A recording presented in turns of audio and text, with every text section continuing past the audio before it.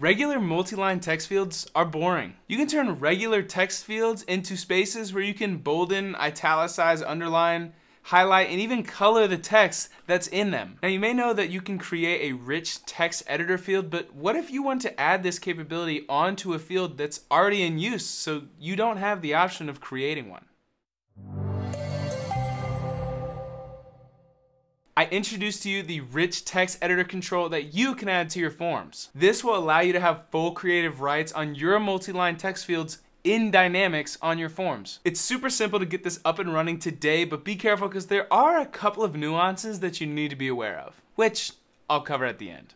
As always, here we are back in the Power Apps Maker portal. We are gonna navigate to our main lead form where we're gonna wanna change the out-of-the-box description field to have the rich text capabilities on it. Now go ahead and navigate to your table and then your main form. And as always, make sure you're doing this in a solution as the best practice. It is important. Don't don't tell anyone I'm breaking the rules, but we'll keep that between you and me. Now for today's example, as I said, we wanna add these creative abilities to the out-of-the-box description field on the details tab of our lead form. If I refer to creative abilities during this video, I'm just talking about the ability to bolden, italicize, change the font, etc. Under the details tab, you can find this field here on the out of the box form. This is a multi-line text field. And as I said at the beginning, you cannot change the type of field after you've created it. Now there are a couple of ways to add the rich text editor control to your forms. The most straightforward way is gonna be finding components in the ribbon and then opening up the inputs group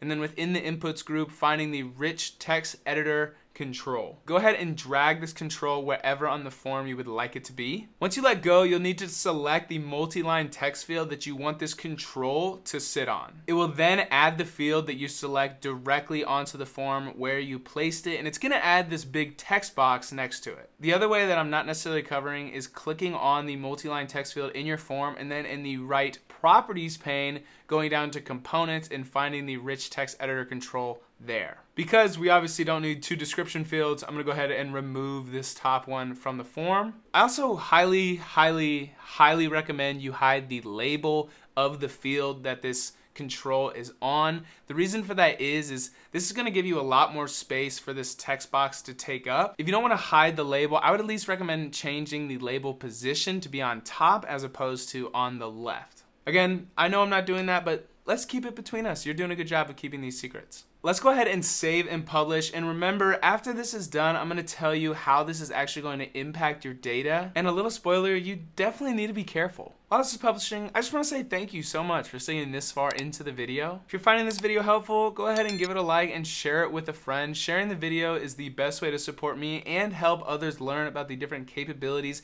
in Microsoft D365. Okay, we are now done publishing. Let's go ahead and take a look at a lead in Dynamics. You can see that our description field now has this rich text text box. This is going to allow you to creatify the text in this box as much as you want to, even things like updating the text color. It's time I share these nuances with you that I've been mentioning the whole video. Basically, if you're unfamiliar, the rich text editor control is actually adding code to the information that's being stored on the description field in the database. What do I mean? Well, let's say that here is my description and I wanted to bolden the word YouTube so that it really catches my attention. The rich text editor control is actually adding the appropriate HTML onto what's already in the description field field. This on screen is just to show what it now looks like. When would this matter? A good example that I can think of is say you wanted this description field to be included in an automatic email notification, then this description in the email is going to include all this HTML code and pretty much make it impossible to read, at least quickly. I'm just saying it's something to be aware of, and if you have that need, you can remove the HTML within your Power Automate just by adding another action. This way you can remove all this HTML gibberish, but that is a conversation for another day. If you're interested in how you can boost the UI UX of your Microsoft Dynamics forms using Power Apps, you're gonna wanna check out this playlist here as I cover a host of different controls that you can easily add to your fields today. Your users are gonna thank you. Thank you guys so much for sticking to the end of the video. My name is Griffin Lickfeldt, the host of Citizen Developer, and I'm excited to connect with you guys in the next one.